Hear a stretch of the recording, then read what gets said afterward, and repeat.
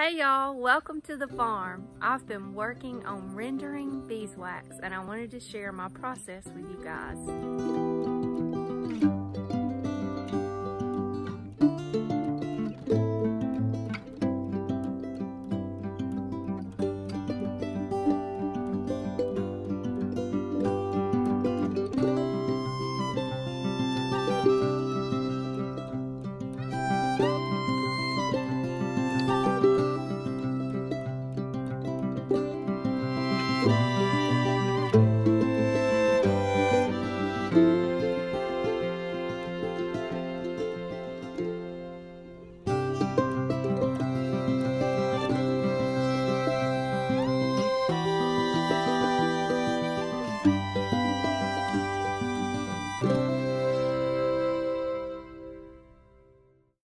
Whenever we do our honey harvest, we always end up with a lot of beeswax.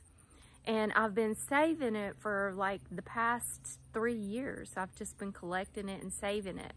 So what I've been doing is just whenever we get this beeswax, I take it and I clean it and I put it up in gallon sized bags and I've just been putting it in the freezer. I've got a pretty good collection of beeswax now, so I wanted to get it all rendered nice and clean and ready to turn into a product. So my goal is, first of all, to make some hand healing salve for gardener's hands.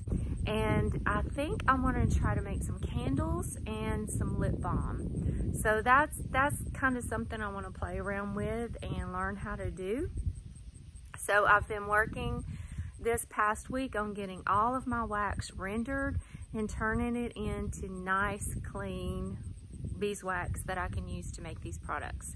So my first step is to clean the wax. As soon as we harvest the honey and we collect the wax, I always go through and clean the wax really good before I've put it up. So I'm gonna show you a clip right now of me cleaning the wax back in May when we harvested honey. And the way I do it is, I've got these two five gallon buckets and this one Here's the wax. I'm using a five gallon bucket paint strainer and we put all the wax in that. And then this bucket has holes in it.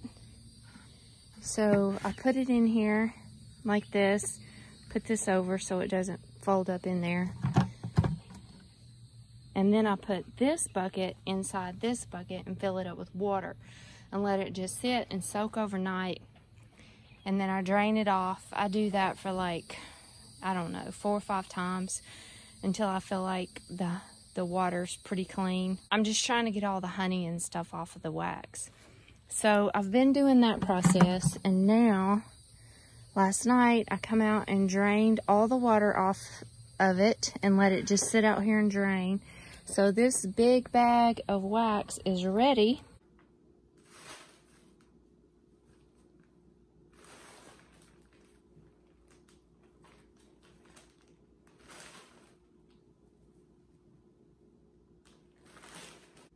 when the wax is really clean, it's almost like little potato flakes. And you really do not want to get this in your sink or in your um, plumbing pipes. That could cause a disaster. Three gallon sized full bags of beeswax.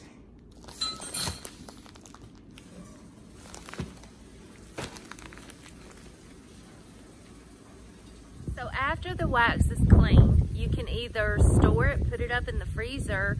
I wouldn't just leave it out in a cupboard or a cabinet or pantry or whatever because it tends to have a lot of moisture still in there and it molds. So throw it in the freezer. It'll store well in the freezer for a long time and then you can just pull it out when you've got a big enough batch to just do it all, to do all the rendering at once because it is super messy and very time consuming. So once you get it cleaned, you can either store it or you can go ahead and render it right then if you want to. So that brings us to the next step, which is rendering the beeswax. Rendering the beeswax is the purification process. So this is where you melt the beeswax and separate the good clean beeswax from all of the different things that the bees put into that wax inside their hive, like pollen, propolis, uh, any dead larvae that was left in there when you when you harvested the honey, um, bee parts. So different things like that. It's just melting the wax and separating separating out all of those things to where you end up with a good, clean beeswax. There's multiple different ways to render beeswax. I've watched tons of YouTube videos. I went to classes on it at different beekeeping seminars, and I've read different ideas in different books about how to do it. So everybody's got a different way to do it. I'm just gonna show you guys today the simple way that I found to do it without going out and buying a whole bunch of expensive equipment. I'm just taking what I already have in my kitchen and I'm using those materials instead of going out and spending a whole bunch of money to do this process. So in rendering the beeswax, it's about a three-step process that, that you have to do to get the wax really, really clean. What I did is I saved this old crock pot. I got a new crock pot a couple of years ago and I saved this and I've had it put up in storage knowing I was gonna use this to melt my beeswax in. So it's just an old crock pot and mine has settings on it of like four hours, six hours, eight hours, 10 hours being the lowest setting. Now the ideal thing would be to have something that had temperatures on it because you really want to melt this at a really low temperature so you don't like scorch the wax and um, 10 hours, I don't really know what that temperature is, but it's my lowest setting on here, so I've just went with it, but I've just been keeping a really close eye on my wax and stirring it and making sure it's not getting burnt. And as soon as it's all melted, then I move on to my next step. Um, but if you had something, a slow cooker or crock pot or whatever, and it had a temperature on it, you would want to do it about like at 150. But like I said, I'm using what I've got. So I've got this old crock pot. I've got an old bucket, and this is like my gunk bucket. So this is where all the gunk goes when I strain it off is in this bucket. I've got a glass measure cup, and anything that you use for this process, it needs to just be designating for melting wax because you're never going to be able to use this for anything else. I've got this cheap strainer here that I just got at Walmart. I got like a whole set of them for, I don't know, four or five bucks, I think. So it's just a, a cheap strainer. And I've got an old plastic spoon that I was willing to sacrifice for this. And I've got a little sharp knife that I'm willing to sacrifice for this. So when I'm done with all this, I'll clean it the best I can and I'll just put it up and store it. And this will be what I use every time I render wax. And that's it. That's all I'm using here for this first step of the rendering process. Okay, so the first step to this process, I've got my crock pot here. I've got my beeswax. This is wax. I've already done half of this bag. This crock pot holds about one and a half bags. One and a half of my gallon sized Ziplocs. So I've already used half of this bag.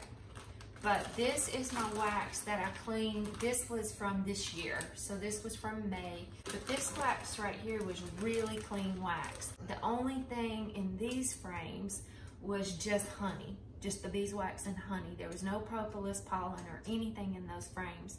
So when I clean this wax, it's just getting the honey off and it come out super clean. And I've tried to keep my waxes separate. So like the wax that was really clean and all that was in it was honey, uh, I've tried to keep it separate from the wax that had the, the propolis and pollen and stuff in it. And that way I can have the different colors. Now here's some wax also from May 2020. So I just fill up my crock pot, smooth it out. Now this makes a tremendous mess like it make I've got parchment paper all laid out here and I really wish that I had this set up somewhere like in an outbuilding or outside or something but I did it in here and it is a mess and you definitely don't want to let this get this wax get in your sink or in your plumbing so I'm gonna have a mess to clean up when we're done but my crock pot's full of wax. Now I'm gonna fill my measure cup up and I'm gonna put water in here just until the water is completely covering the wax.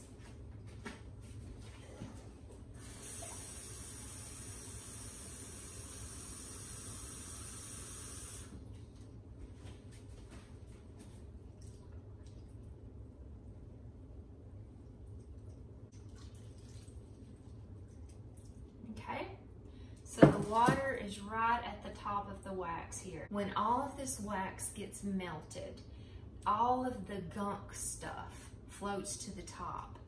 And you can just, and we're just gonna take this strainer and we're gonna skim it off and dump it in our gunk bucket. And then we're gonna let this sit. We're gonna turn off the crock pot and we're gonna let this sit overnight, really. It has to sit overnight. That's what I'm saying. This is a long process. After this sits, it's gonna get hard. You're gonna end up with a layer of wax like this tall. All the wax rises to the top and hardens, and then the bottom underneath the wax will be the water and it'll be full of all the little tiny small particles of gunk and impurities will sink to the bottom of the water and all the wax will be at the top and get hard. That's why you want to use the water in here because it helps with separating the impurities from the wax. So we've got our wax and our water in here. I'm gonna put my lid on. I'm gonna plug it up and I'm gonna put my setting on the lowest one I've got. In about two hours, I'm gonna come back and check it and stir it and keep it off the edges and um, just check on it. It's been about three hours and most of it's melted. Just got this little bit left here to melt. Okay, all the wax is melted. So now I'm gonna take this strainer and at the top of it is all the gunk and I'm gonna strain it off.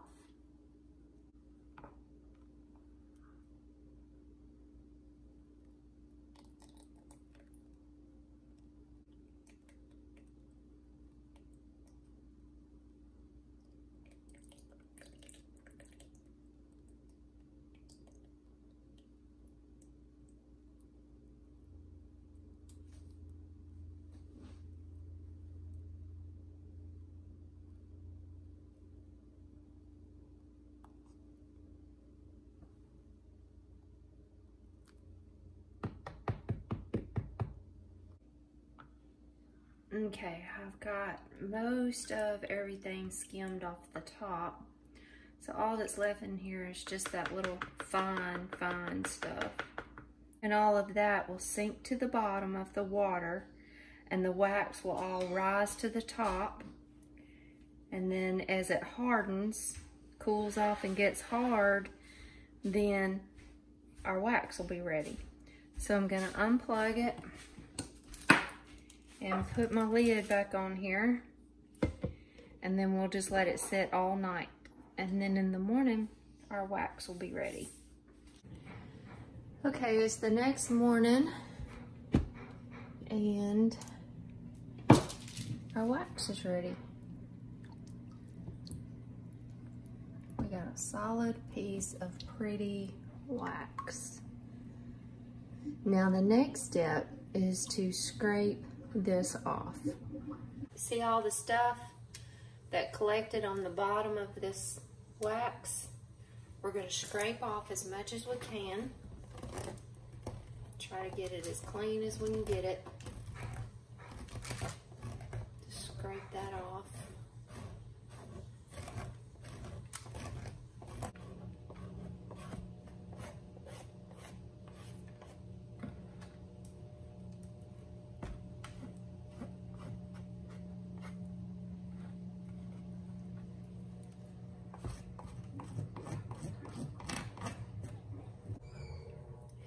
Now we move on to the next step of rendering the wax. This is my box of wax that I've been working on. This is all through this first step. Look at all this wax I've got. Look at the different colors. Here's the darker stuff.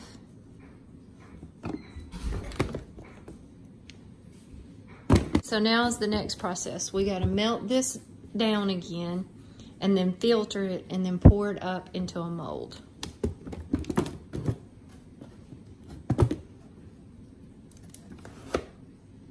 Okay, now it's time to move on to the next step, which is filtering the wax. Okay, now I have a second crock pot. This is just an old crock pot that I've been hanging on to. and I got a new strainer because the other one that I was using has a lot of that gunk like stuck on it. So I just went ahead and got a new clean strainer to do this process. And I've got a turkey baster and I've got some Pam cooking spray and then just my same knife I was using and paper towels. That's gonna be our filter. I'm gonna be using this Pam cooking spray to spray my beeswax molds. Now these are molds that I bought off of Amazon. They're not the cheapest ones. These are probably about, I would say mid-grade and they were $15 a piece on Amazon.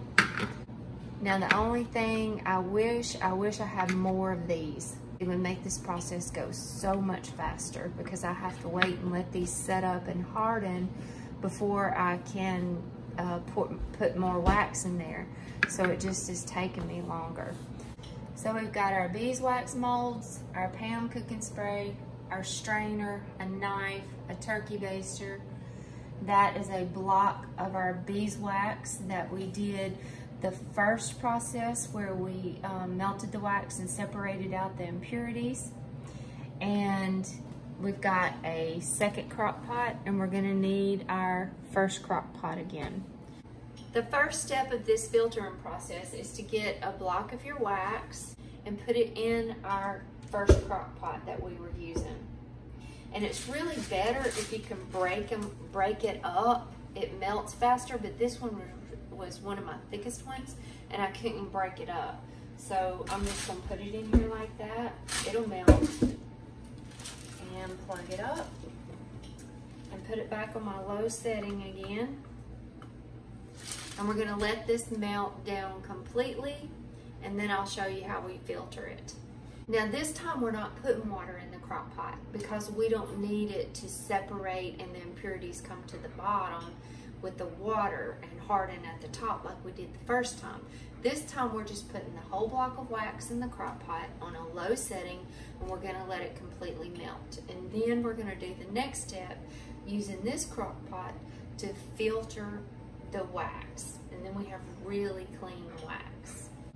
Okay, all our wax is melted in here. So now we're gonna, here's our second crock pot. And I'm gonna put this strainer on here. Put your paper towel on it. That's your filter.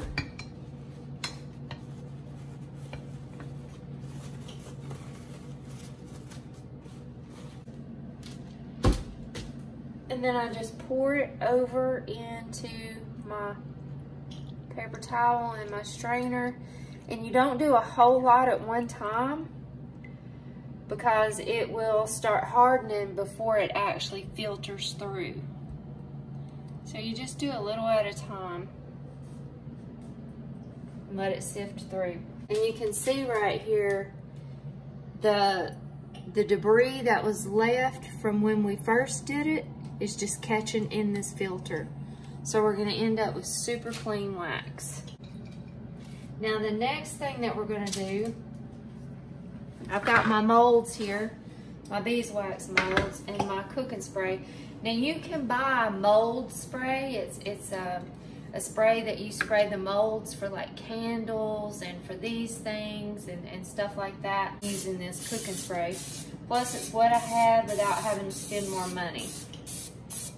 And I just spray that in there. And then I take a paper towel and kind of smooth it out. Because I figured out if you don't smooth it out, the top of your wax bar has little dimples in it instead of being nice and smooth. So I just smooth it out a little bit. And then you can see this wax in here. See how clean that wax is? Now I'm just gonna take this.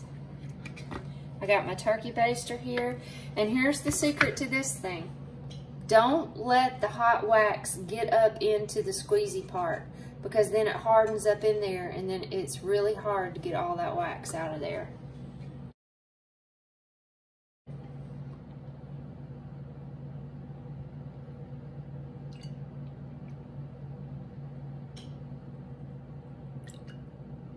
And I just fill my molds up.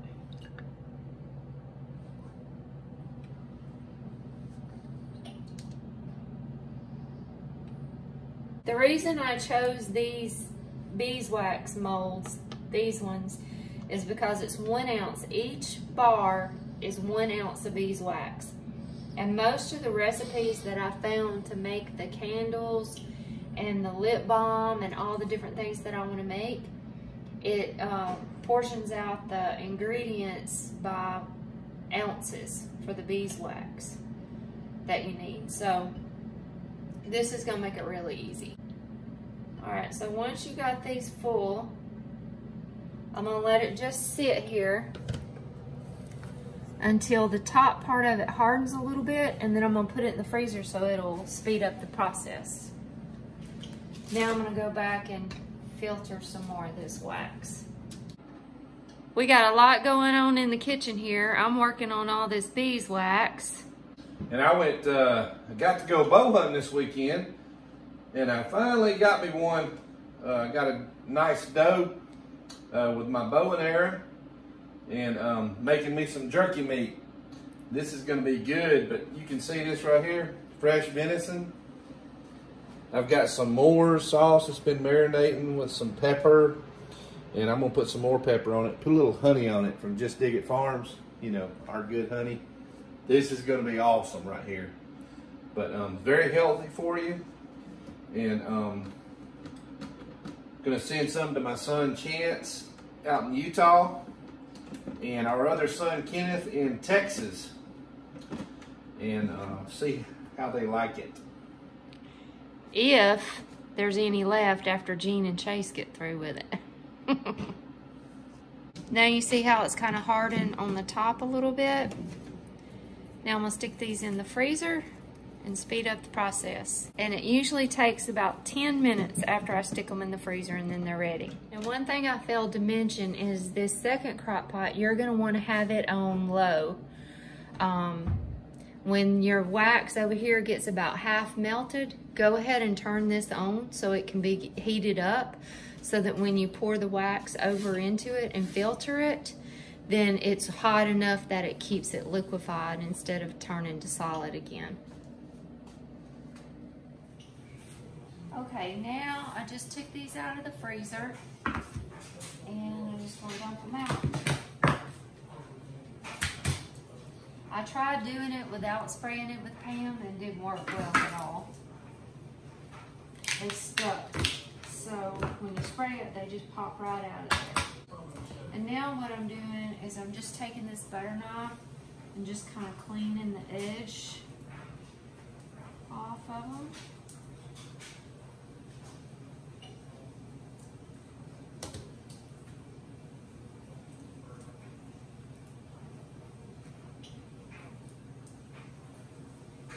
got a beautiful, clean, one ounce bar of beeswax.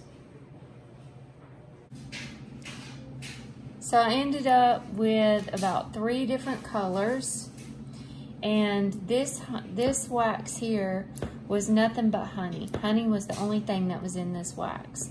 These two had other things in the wax. The color of the wax, a lot like the honey, depends on what pollen, what they foraged on to determine the pollen colors.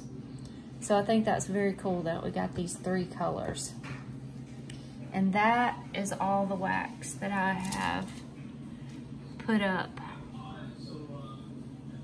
And these are all one ounce bars, all clean and ready to use to make something cool with.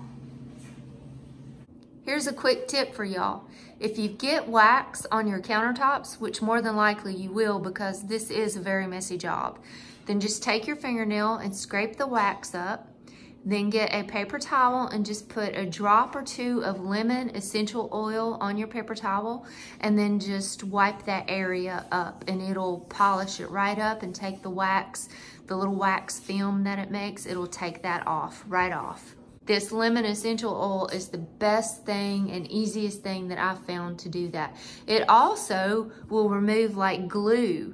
Like when you have glue um, from the sticky label on a wine bottle or anything like that, a drop of lemon essential oil and a paper towel will take that right off easily too. So now that we have 100% all natural beeswax straight from our beehives, all cleaned and rendered and and processed and turned into little one ounce bee bar, beeswax bars.